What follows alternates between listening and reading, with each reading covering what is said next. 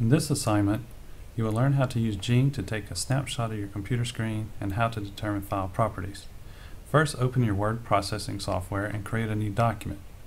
Type the phrase 8 bits makes a byte.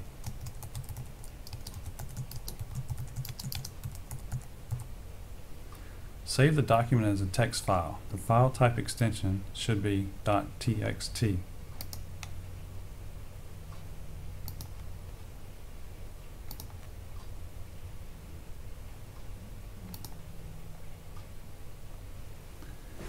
Open the folder where you saved the file and use Jing to capture an image of your folder.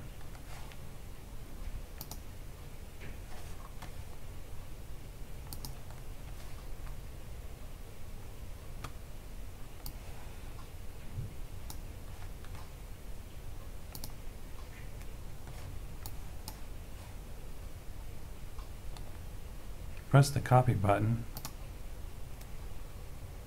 and then paste it in a new document.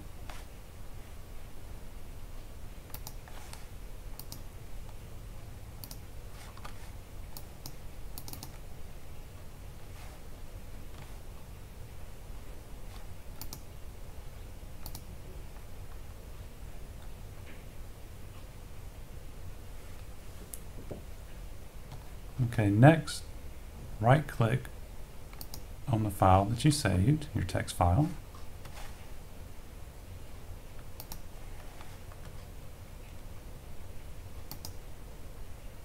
And choose Properties.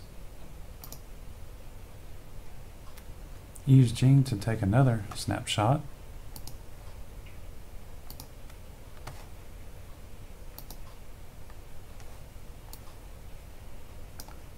And use an arrow key to show the file size.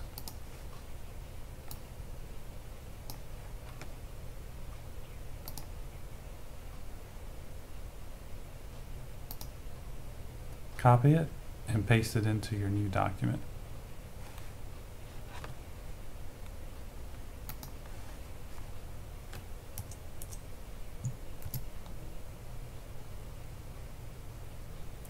Also in this document, give an example of something that can be represented by both digital and analog not mentioned in the textbook.